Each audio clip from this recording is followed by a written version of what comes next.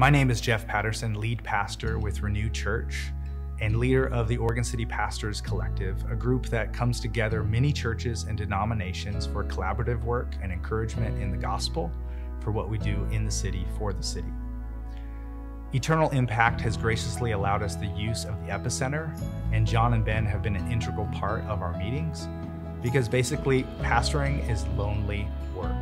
And so we support one another, we encourage one another, we come together for the sake of the city. But it's more than the facility that has been so helpful, it really is the people.